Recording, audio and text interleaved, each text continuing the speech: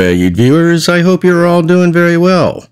And a very special shout out to my Super Thanks contributor at PhilPotts48. And because he did contribute $20 or more, he is elected to do a video, and his choice was the Rutland Railroad.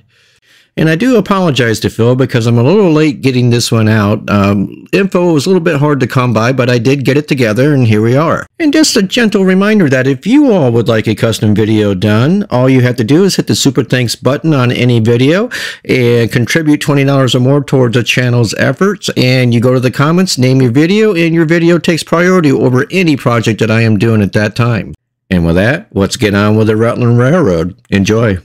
On December 30th, 1870, longtime rival Vermont Central Railroad leased the Rutland Railroad in an attempt to quell the growing competition from its biggest competitor. Unfortunately, this move eventually forced the Vermont Central into bankruptcy during March of 1896, and the Rutland regained its independence on May 7th of that year. The old adversaries may have ended their long-time feud, but the Rutland continued to grow into the 20th century. On September 27, 1901, the Rutland Railroad formally took over the Ogdensburg and Lake Champlain Railroad, giving it access to the Ogdensburg along the shores of the St. Lawrence River and connections with Rome, Watertown, and New York at Norwood, and that later became the New York Central Lines.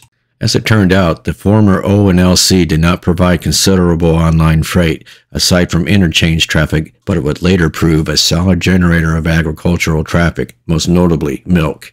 And Ogdensburg became a vital port in shipping goods to and from Chicago over the Great Lakes. Just prior to this event was the Rutland Railroad's efforts to provide itself a direction connection with the O and LC. To do so required bridging the gap between Rouse's Point, New York, and Burlington, which meant incorporating a brand new company. And this new company became known as the Rutland and Canadian, completed in 1899. Its right-of-way was an impressive display of engineering. The railroad leapfrogged the northern islands of Lake Champlain and South Hero, Grand Island, and North Hero using a marble riprapped causeway to reach Alburgh, before briefly crossing the waters again to connect with Rouse's Point at the ONLC. The 40 miles of new line were completed in only a year and were consolidated into the Rutland during January of 1901. Amazingly, this wasn't the final addition to the railroad system that year. On June 1st, it also picked up the Chatham and Lebanon Valley, part of the fabled Corkscrew Division. The C and LV, along with the Bennington and Rutland, acquired in February of 1900. This road operated between Rutland and Bennington, and that gave the Rutland a through route to Chatham, New York. Both lines comprised the Chatham Division, a windy route complete with 263 curves. While it provided the Rutland with southern interchange to the NYC, it was an operational headache. With these leased lines added to the Rutland system, it had reached its furthest extent, operating just over 400 miles of railroad on a system that looked like a bit like a upside-down L between Chatham, New York to Alburgh, Vermont, with a western extension from Alburgh to Ogdensburg, New York. The railroad's one major branch was its original main line, extending from Rutland southeasterly to Bellows Falls, where it connected with the B&M. For all the fondness and status surrounding the Rutland, particularly by the people of Vermont, the railroad continued to struggle for most of its life. The Rutland again fell under the control of an outside railroad when the New York Central gained control of it in 1904, which went on to sell half its interest to the New Haven Railroad in 1911. Such trouble arose in 1915 when the Panama Canal Act forced the Rutland Railroad to divest itself of the Rutland Transit Company, which was a steamship operation that cost its valuable interchange traffic from Chicago over the Great Lakes. The years under the New York Central's control was arguably witnessed one of the last great periods of prosperity for the Rutland Railroad. And some to the good from the Central's control was that the Central moved a large amount of bridge traffic over the Rutland to transfer through Ogdensburg and paid for the infrastructure and equipment upgrades. Alas, these good years will not last for the, la uh, for the Rutland.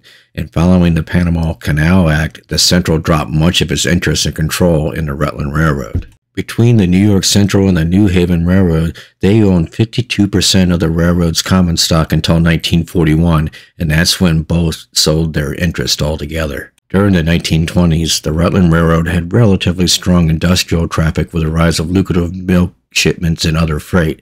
However, again, these happy times were short-lived. And things took a turn for the worst in 1927 when major flooding in Vermont heavily damaged large sections of the Rutlands right away. And then in May of 1938, the railroad entered receivership and was on the verge of total shutdown until the unions agreed to a wage reduction in August that kept the railroad operating. Additionally, state and local governments, as well as the people of Vermont, worked to keep the company operational by donating money, such as Save the Rutland Club, and reducing its tax burden. Some bills were forgiven altogether. One notable means the road implemented to increase tonnage was the launching of the Whippet, which was a high-speed time freight which ran the length of the system hauling bridge traffic. A 280 consolidation was even painted black and silver to advertise the service, along with print media making potential customers aware of the program. It largely worked, and the company also picked up some less than carload freight in the process, although the train lost its name with the start of World War II. After the war, the Rutland was in trouble again, having already reorganized in November of 1950 to become the Rutland Railway, bringing a new logo and image, the Green Mountain Gateway. This time with a strike as the railroad's organized workers would not comply with a new change in operational practices. The railway fell under new management, and that was led by Gardner Caverly uh, after 1954, and he did everything they could to reduce losses and pull the company out of its perennial red ink.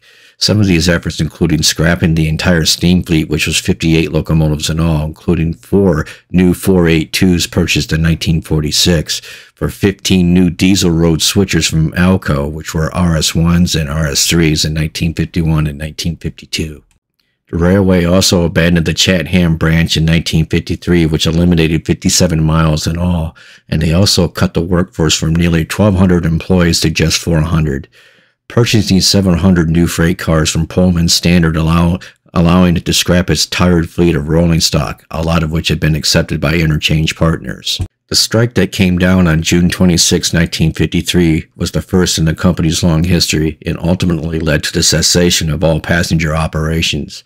After 21 days, management and labor were able to reach an agreement and the railroad resumed all operations sans the money-losing passenger trains. Unfortunately, all efforts to streamline operations could not curb the growing loss of its freight traffic. The once lucrative milk trains had all but disappeared because they were taken away by semi-trucks, and it was becoming increasingly difficult for management to find ways in keeping the company even marginally profitable.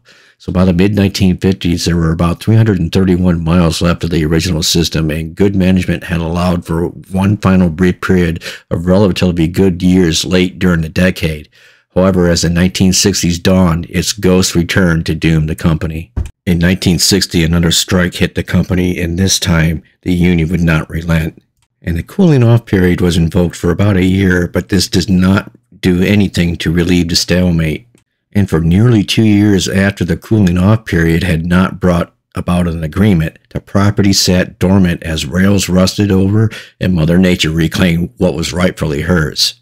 And this time, nothing or no one could save the Rutland Railroad, and the Interstate Commerce Commission ruled for total abandonment on January 29th of 1963.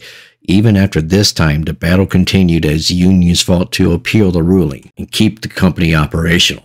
These efforts ultimately failed, but in an ironic twist of fate, it was announced during mid-June of 1963 that the unions and company had reached an agreement, albeit far too late to save the Rutland. Thankfully, in a proactive move during August of 1963, the state of Vermont purchased a former property from Bennington and Burlington, as well as part of the Bellows Fall line, creating today's Vermont Railway. The rest of the line, including the entirety of the O&LC, as well as the Burlington-Alburgh extension across the lake, was abandoned. Following the shutdown of the Rutland, it was res resurrected just a few years later in 1964.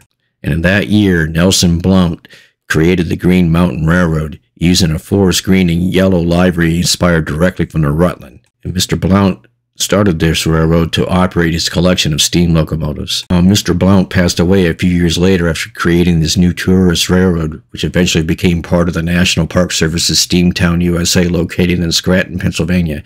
A highly recommended museum, by the way. The Green Mountain Railroad lived on and split off as its own operation.